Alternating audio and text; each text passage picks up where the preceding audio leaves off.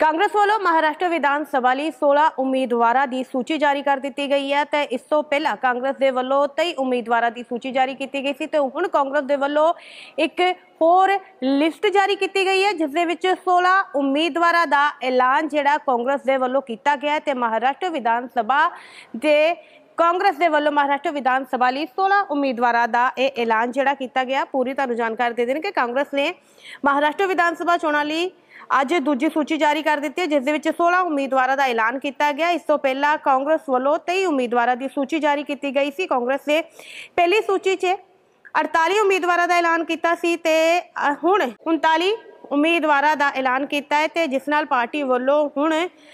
ਤੱਕ 87 ਉਮੀਦਵਾਰ ਇਹ ਉਮੀਦਵਾਰ ਜਿਹੜੇ ਆ, ਉਹ ਐਲਾਨੇ ਜਾ ਚੁੱਕੇ ਨੇ। ਕਾਂਗਰਸ ਨੇ ਕਿਹਾ ਕਿ ਮਹਾ ਵਿਕਾਸ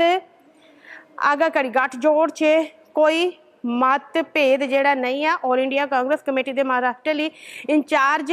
ਰਮੇਸ਼ ਚੈਨੀਵਾਲਾ ਨੇ ਕਿਹਾ ਕਿ ਸੂਬੇ ਦੇ ਲੋਕਾਂ ਦੇ ਸੁਪਨੇ ਪੂਰੇ ਕਰਨ ਲਈ ਐਮਵੀਏ ਭਾਈਵਾਲ ਰਲ ਕੇ ਚੋਣਾਂ ਲੜਨਗੇ ਤੇ ਕਾਂਗਰਸ ਨੇ, ਜਿਸੇ ਚੱਲਦੇ ਹੁਣ ਆਪਣੀ ਇੱਕ ਹੋਰ ਸੂਚੀ ਦਾ ਜਿਹੜਾ ਉਹ ਵੀ ਐਲਾਨ ਕਰ ਦਿੱਤਾ ਗਿਆ ਹੈ ਤੇ 87 ਉਮੀਦਵਾਰ ਜਿਹੜੇ ਹੋ ਗਏ ਨੇ 39 ਉਮੀਦਵਾਰਾਂ ਦਾ ਐਲਾਨ ਕੀਤਾ ਸੀ ਪਹਿਲਾਂ ਤੇ ਜਿਸ ਨਾਲ ਕਿ ਪਾਰਟੀ ਵੱਲੋਂ ਹੁਣ ਤੱਕ 87 ਉਮੀਦਵਾਰ ਐਲਾਨੇ ਜਾ ਚੁੱਕੇ ਨੇ। ਕਾਂਗਰਸ ਨੇ ਕਿਹਾ ਕਿ ਮਹਾ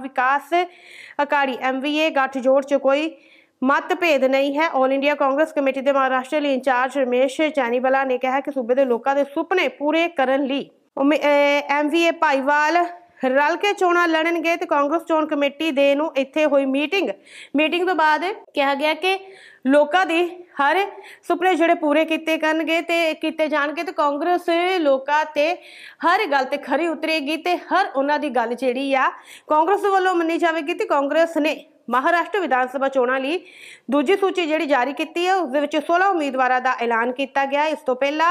23 ਉਮੀਦਵਾਰਾਂ ਦੀ ਸੂਚੀ ਜਾਰੀ ਕੀਤੀ ਸੀ ਕਾਂਗਰਸ ਨੇ ਪਹਿਲੀ ਸੂਚੀ 'ਚ 48 ਉਮੀਦਵਾਰਾਂ ਦਾ ਐਲਾਨ ਕੀਤਾ ਸੀ ਤੇ ਹੁਣ 39 ਉਮੀਦਵਾਰਾਂ ਦਾ ਐਲਾਨ ਕੀਤਾ ਜਿਸ ਨਾਲ ਪਾਰਟੀ ਵੱਲੋਂ ਹੁਣ ਤੱਕ 87 ਉਮੀਦਵਾਰ ਐਲਾਨੇ ਜਾ ਚੁੱਕੇ ਨੇ ਤੇ ਹੁਣ ਕਾਂਗਰਸ ਦੇ ਵੱਲੋਂ 16 ਹੋਰ ਮਹਾਰਾਸ਼ਟਰ ਵਿਧਾਨ ਸਭਾ ਚੋਣਾਂ ਲਈ ਜਿਹੜੇ ਉਹਨਾਂ ਦਾ ਐਲਾਨ ਜਿਹੜਾ ਕੀਤਾ ਹੈ देश दुनिया की हर खबर सबसे पहले देखने के लिए फॉलो करें Dainik Savera TV YouTube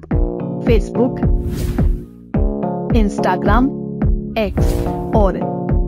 WhatsApp channel पर।